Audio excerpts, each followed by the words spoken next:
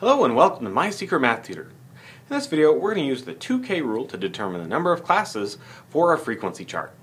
Now this is a great rule to use when you have lots of different data points and they take on lots of different values. By using classes it allows us to group together some of these data values uh, so that we can better look at their frequency. So let's look at this rule more in detail to see exactly how it will help us. According to the 2k rule, it says that 2k must be greater than or equal to n. Now, in this, k is the number of classes and n is the number of data points. So in practice, what we usually end up doing is we take our number of data points and we put it in for here, and we start searching for k so that we can get a number, 2 to the k, that is larger than the number of data points. Now, once we know how many classes we need to break this up into, then we can go further and actually figure out how wide to make each of these classes. The way we do that is we take our largest data value, we subtract out the smallest data value, and we divide by the number of classes. Let's look at some actual data to see the 2K rule in action.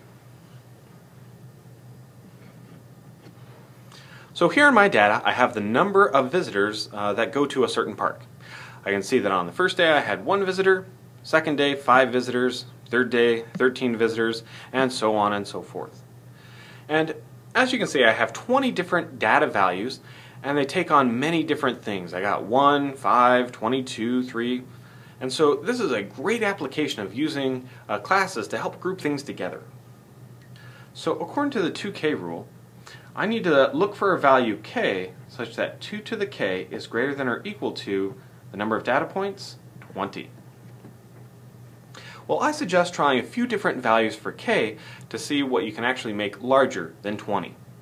So if you use 1, you get 2. Uh, if you use 2 in for k, you get 4.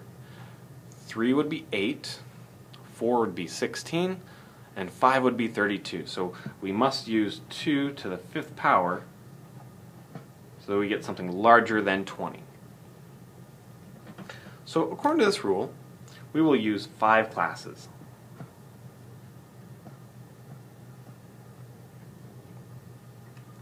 Now, of course, that's only half of the story. We also want to figure out how big to make each of these classes.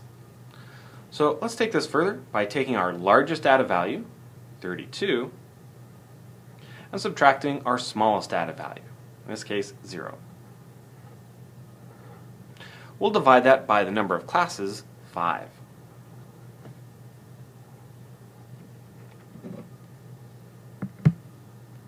Thirty-two minus zero divided by 5, 6.4.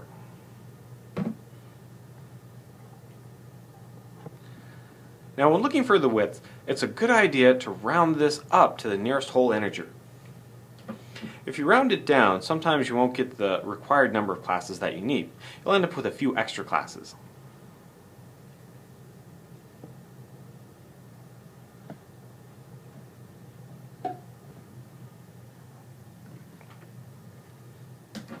Alright, so here's what we have found so far.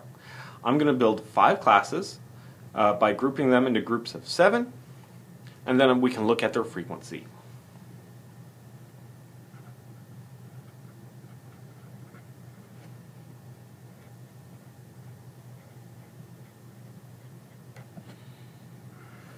Alright, I think we're ready to build our chart.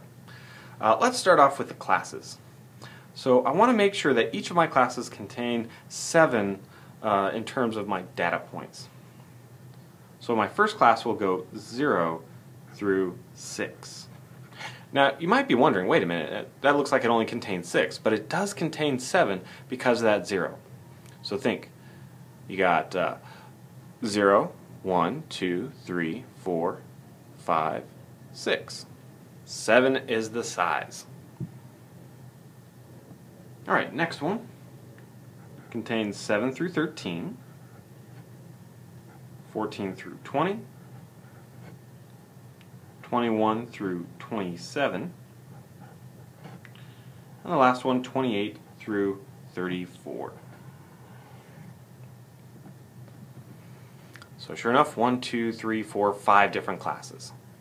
Now for the frequency, I have to see how many of my data values fall into this class and so we can start to count them up. So let's see, 5 is in there, 1 is in there, 3, 0. Alright, so I have 4 in the first class. Next class, a whole bunch of them, anywhere between 7 and 13. So 13, 9, 8, 12, 11, 7, 8, 7. Now 14 to 20. Let's see, 18, 19. Dun, dun, dun. Looks like I got five of them.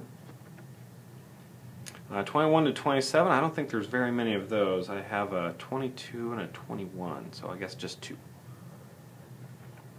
And last, my 28 to 34. Looks like just a couple of those. So two. Uh, now, when you do have lots of these different data points, uh, you want to make sure that you have them all. Remember that our total frequency here should equal to 20, the number of original data points. So quickly go through and add up all these to make sure that you do get 20. So 4 and 7 is 11, plus 5 is 16, 17, 18, 19, 20. Sure enough, looks like I got them all. So as you can see, the 2K rule really helps us develop classes so that we can group together our data points much better.